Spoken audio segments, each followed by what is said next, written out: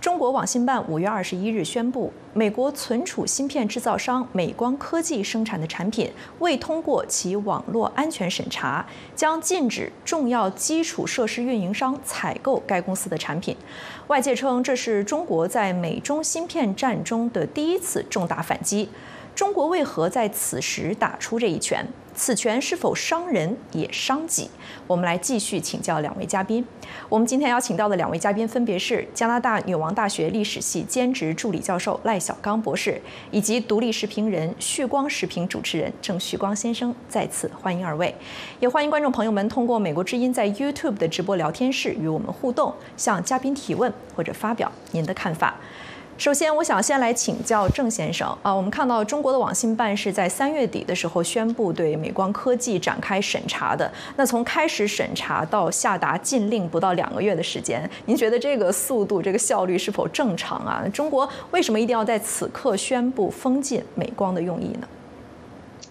呃，实际上他是企图用这种方式啊，驱动这个华尔街，驱动这个美国企业。呃，给美国国会啊，美国政府施加压力啊，不要让对中国的这个芯片，呃，先进芯片的制造和先进芯片的出口呢，施加太大的呃这种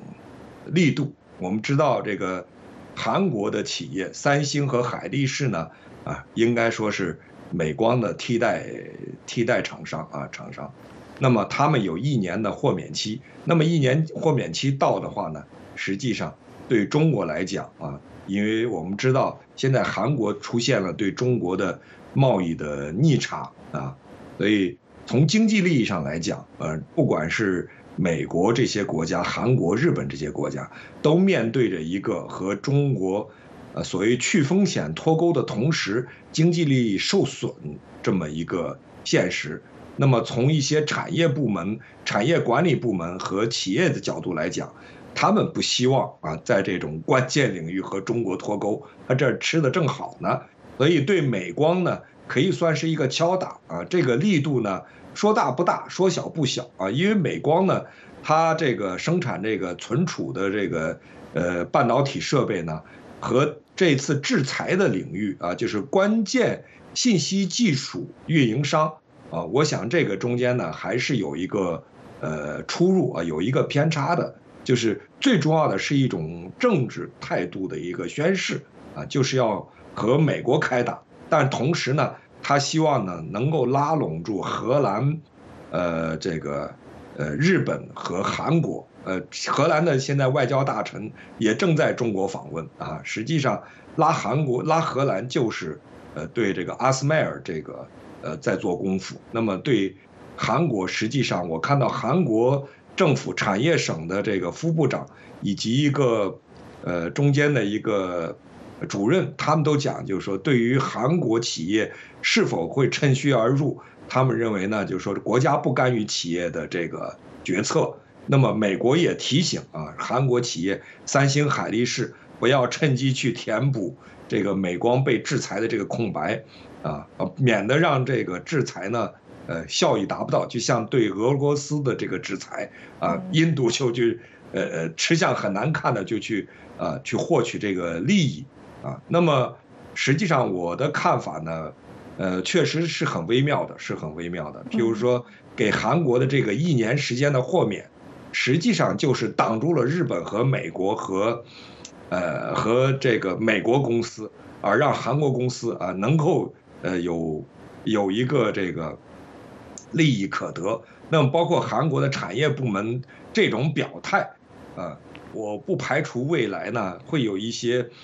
呃，不好说的事情。当然，长期来讲，这个脱钩是一个大趋势。嗯，刚才郑先生说到了，中国此举也是有意要拉拢韩国，或者是分化美韩在对华问题上的立场啊。因为美光科技它在中国退场之后，它的市场份额可能会由韩国的三星和海力士来拿下。赖博士，您怎么看待这样的一种观点啊？您觉得这算不算是对于美国所领导的针对中国的全球半导体封锁线的一次重大挑战呢？呃，这个分化敌人、瓦解敌人，是中国共产党的传家宝。由于半导体关系到中华人民共和国的未来，北京使用这个传家宝是正常的，但是是否有效就不知道了。分化和瓦解敌人在中共的革命战争年代十分有效，其中的原因呢是对手繁多而且很弱，而且不了解中共。这个策略在改革开放以后也十分有效，原因是西方国家和日本都不了解中共，对中共还抱有希望。但是现在的情况与过去就完全不同了。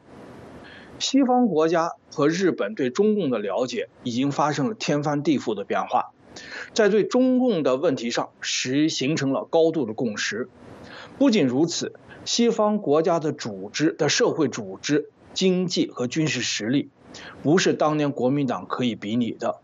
也不是中国共产党的领导集团能够理解的。甚至呢，连中共的智库都无法理解。关于西方对敌对国家实施技术限制的问题，大家想想冷战时期的巴黎统筹委员会，简称叫巴统就可以了。这个组织非常有效。嗯，还有一种声音认为，中国之所以现在敢于在现在来封杀美光，说明它在储存芯片上已经找到了国产替代方案，能够自给自足了。郑先生，我不知道您是否同意这样的一种看看点？你怎么看待中国在芯片行业专家来讲呢？呃，应该说这还是有距离的啊。有一种理论的说法，说因为你限制我们，所以能发育我们。这个说法呢，不是太真诚。你比如说，韩国的阿斯麦尔董事长，他就说，呃，这会刺激中国的替代，呃，产品的更新换代，啊，能够刺激他们这个，呃，芯片生产科技技术的提升，呃，没有这样的，基本上，呃，都是靠各种间谍技术、各种合作方案，啊，取得真正有效的技术。按中国的讲法，可能要达到阿斯麦尔的那个状况，得花一万亿人民币。还得五十年时间，这是一个听了以后让人瞠目结舌的结论。关键时间太悠久了啊。那么现在的实际上就是我们刚才和呃赖小刚博士探讨这个话题，中国你看他的这个外交上的举动，他是拼命的拉欧洲啊，甚至忍着日本、韩国啊，就是一直是对美国强硬，这是他这是他这个词阶段的特点，这也是习近平的呃。风格啊，那么从，呃，中国在八九年之后打破所谓的美国呃对中国的这个制裁封锁，它也是啊通过这个呃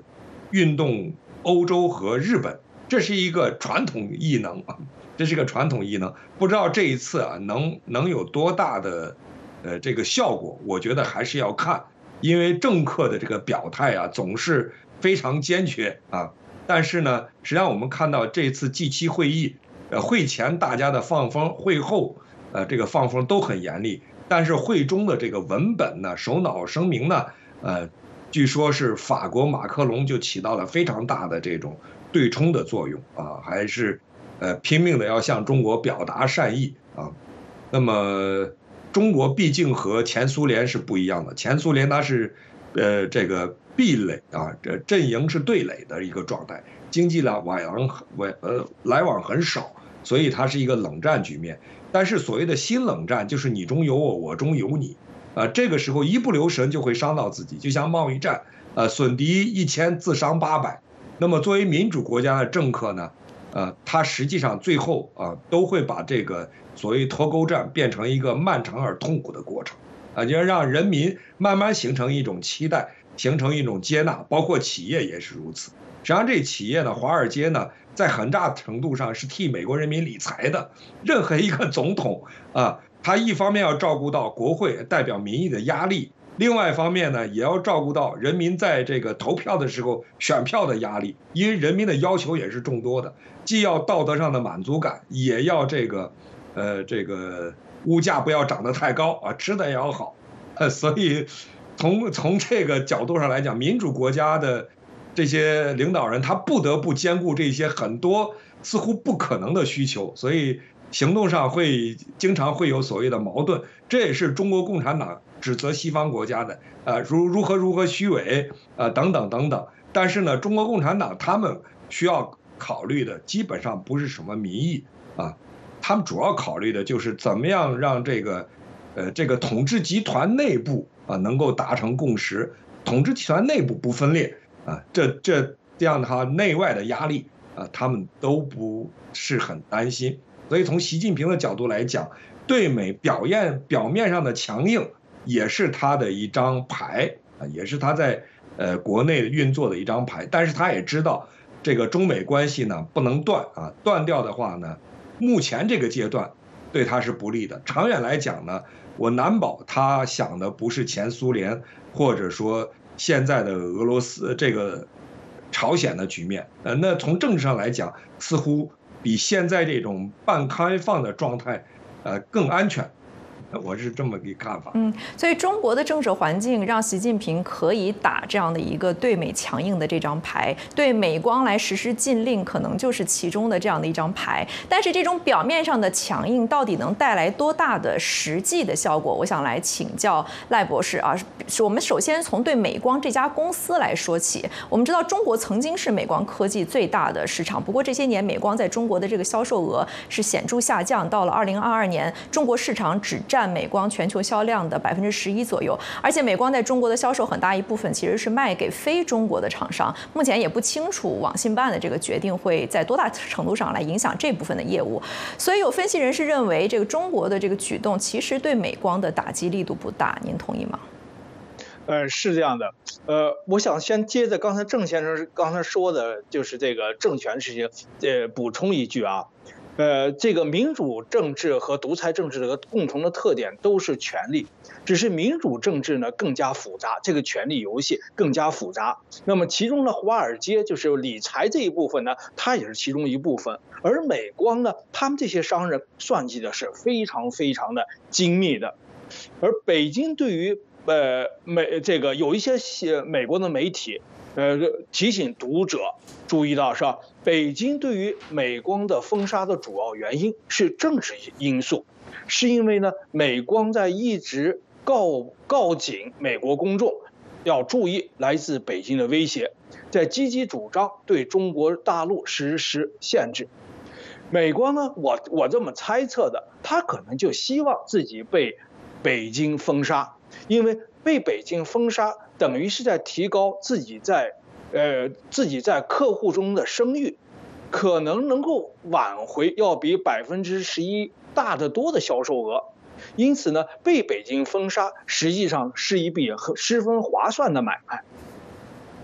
嗯，是，呃，我们有一位叫做 M M M 明的网友啊，在 YouTube 的直播聊天室给我们留言说，中国人做事一向深思熟虑，美光被禁证明已经没有价值啊啊，他说的意思是说，这个中国其实想得很清楚了，是因为美光没有价值了。那刚刚我们的这个赖博士说的是，其实美光也想得非常清楚啊，在这个时候中国市场到底还对它有多大的价值的问题啊。但是这件事情，这个封杀令啊，不仅仅对美光这一家公司对于整个中国的这个营商环境和它的国际声誉是不是也会有影响呢？呃，中国的美国商会，中国美国商会啊，告诉美国之音说，该会的许多美国公司会员都担心自己会成为下一个被中国封杀的对象。该商会的总裁何麦可对美国之音说，我们的商会会员们纷纷问我们两个问题。第一个是他们会因为是美国公司就被中国政府锁定吗？第二个是当处于一个越来越被国安顾虑所影响的商业环境当中的时候，他们要如何确保自己是守法合规的？所以郑先生，您觉得这是一种普遍的不安吗？我觉得有有一个评论我非常喜欢，经常引用，就是说这些国际大公司啊，往往有首席经济学家。他们现在这个年代呢，应该再加聘一个职位——首席政治学家，啊，就是，呃，在各国越来越强调这个国安环境的这个背景呢，说明呢，国际政治局势、地缘政治正在发生巨大的变化。这个时期呢，把握这个各国的政治变化是这些跨国企业必须面对的一个工作啊。那么就是。具体近期的表现叫做去风险化，去风险化极端的时候可以等于脱钩啊。那么企业家当然因为他专注于商业事务，专注于市场，呃，政府除了咨询公司之外，政府从来不是企业的呃这个最关注的一个对象，最关注他们是行业需求或者消费者需求。那么在这一块，我觉得呃他们是需要加强研究力量的啊。美国的企业实际上最大的影响是受到美中关系的影响，这个是。和欧洲是有有所区别的啊，欧洲可能是因为俄乌战争问题，因为新冠疫情呃动态清零问题，但是美国企影响企美国企业家对欧对中国的这个投资延续的最主要就是美美中关系，而且刚才我们呃提到的美中关系，拜登总统不是已经宣布了吗？现在要解要解冻啊，美中关系要解冻，呃，一个是今天呢这个周二。呃，新的这个驻美大使终于呃启程了，从上海就是这个谢峰啊，呃，那么可以说中美呃这个建交以来最冷的一段时间呢正在破冰，最冷的段时间就是大使缺编啊，从秦刚回国述职之后，因为秦刚来的时候就没有机会给拜登递交国书，这就是史无前例的一个中美关系上史无前例的。另外一个，中国给予的这种冷处理、冷惩罚。冷暴力是什么呢？就是长期不派这个大使，这是中美建交以来也是没有的事情啊。那么现在谢峰呃已经出发了，要华盛顿这个就职了。另外一个呢，中国的这个商务部长王文涛啊，这一周也要来美国，他要和这个呃耶和和这个莱蒙德和以及这个戴奇都会见面。那么相信美光也是中间的要谈到的一个话题。那么之后呢？因为呃，这个沙利文和王毅维也纳的这个会谈，啊，这个将近十个小时会谈，也谈到了布林肯访华的问题，耶伦访华的问题，呃，所以呢，我想呢，美光在这个中间呢，呃，是一张牌，而且呢，应该说打出来对中共的经济不是那么太痛的一张牌，这个符合这个，呃，这个网友和王呃王文涛先生和这个，呃，咱们赖赖小刚博士这个。基本的判断就是这张牌的政治意义更大啊，政治意义更大。呃，经济上的几方损失，我想他都是仔细精算衡量过的。嗯，是。那当然，美光是一张牌，像刚才郑博士说的，当美中关系如果接下来下一阶段出现一些变化的时候，是不是有可能会影响到？中国怎么来对待美资企业的做法？呃，如果我们把比如说封杀美光啊，跟前一段时间中国对外资咨询还有调查公司的一系列的这个突击审查结合起来来看的话，赖博士，您觉得中国政府是否是在滥用国家安全的概念，或者说会不会进一步的采取这样的做法？呃，这就涉及到中华人民共和国的国家性质问题了，和它的起源问题了。中华人民共和国呢是一个布尔什维克主义者建立的国家。由于布尔什维克主义是左翼的极端主义者，是左翼思想的塔利班，中华人民共和国的国家安全概念因此就与苏联一样，与西方民主国家迥然不同。其中一个重要的不同点就是对国家安全概念的解释。中华人民共和国的国家安全概念是在九十年代才有的。在以前呢，是叫反革命罪。反革命罪是一个可以任意解释的概念，虽然用国家安全来取代了反革命罪，是一个巨大的进步。但是由于缺少权力制衡和独立的司法体系，国家安全这个概念，因此呢，在目前情况下就越来越越走向了反革命罪的同样的道路，而反革命罪。以及中共的历史，在一九七八年以前的中国中华人民共和国的历史，一九四九年以前的中中共的历史，这是一个十分大家都很熟悉的问题。比如说中共特科，呃，延安整风、肃反等等，大家十分熟悉了，我就不再多说了。嗯，说到国家安全这个概念，我想继续来请教郑先生。呃，近年来美国也是多次的出于对国家安全的担忧，来限制中国企业在美销售或者是投资。所以中国政府也经常指责美国在滥用国家安全的概念。所以我们也想借这个机会来谈谈啊，就到底什么是这个，就是正当的维护国家安全跟滥用国家安全这个概念，两者之间是不是有界限啊？有没有一个客观的标准？我觉得虽然用的同样的词，所指有根本不同。呃，西方世界或者正常国家的国家安全概念，我们不用要解释，我们解释一下中共的国家安全。中共国家安全的核心之核心啊，是这个中共执政地位不容置疑。这在任何一个正常国家，这从来不是国家安全的概念的范畴。因为质疑执政党的执政地位，这是一个民主的最基础的一个呃前提啊。那么从这个角度上来讲呢，中共的国家安全最核心的呃，就是中国中华人民共和国最核心的就是中共的利益啊，中共的这个执政执政利益不容怀疑。刚才赖小刚说的，又走回到了呃所谓的反革命罪，反革命罪呃两个要件儿我在八九年就被起诉反革命罪嘛。反革命罪两个要件儿，一个是这个推翻共产党领导，一个是质疑无产阶级专政啊，大概就是这么一个概念啊，就是他的这个统治形态以及他这个具体的这个中共产党领导是不能够被质疑的，否则就是呃国家安全就触碰到了。那么这对于民主国家的这些呃经营者来讲，这是一个非常痛苦的一个呃适应和转型过程啊，最后他们可能完全没有边际对这个概念。是没有边际的啊，除非你变成中华人民共和国公民，你理解这个东西完全中国化，否新中国化，否则你没没办法，这个长期来讲是没办法呃达成的，达成这一点。另外，我们看到刚才说的谢峰呢，谢峰派到派到这个美国来，他也是习近平赏识的，因为他处理这个孟晚舟这个事件，就是用人质外交的办法。啊，现在和加拿大啊，这个又处一个互处、互相驱逐领事的这么一个阶段。那么谢峰是作为外交部副部长，介入了这个，呃孟晚舟这个事件的处理和两个 Michael 这个人质的处理。那么他的来访美国，实际上我觉得带来的这个信息也是非常多的，就是习近平和拜登还要继续斗下去啊，这个会用什么样的方案啊？我们觉得，习近平的核心利益就是维持中共的统治，啊，这是，呃，中国的国家安全的这个，呃，剥开这个皮儿里面的芯儿是这样的。嗯，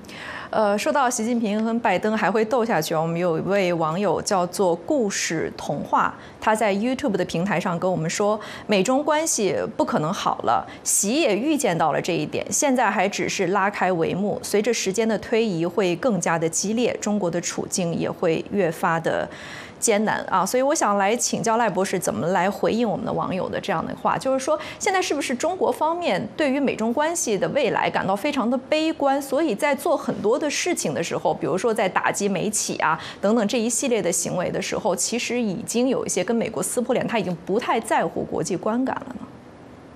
呃，是这样的，实实际上是从呃两年前这个阿拉斯加高层中美高层会议。中国方面，中华人民共和国方面终于意识到美中关系不可能回到以前了。在此之前，呃，中华人民共和国还有抱对于美中关系的恢复还有抱有希望，之后就没有了。